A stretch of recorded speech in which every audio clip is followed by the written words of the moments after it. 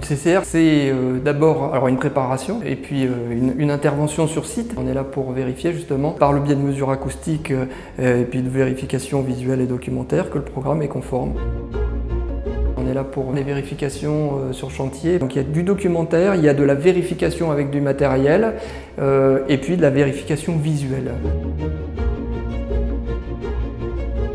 La finalité, c'est de prouver que le programme est conforme à la réglementation avant tout, euh, et puis surtout à la certification qui a été obtenue à la conception, et qui montre que le programme a obtenu des niveaux euh, au-delà de la réglementation, notamment en acoustique.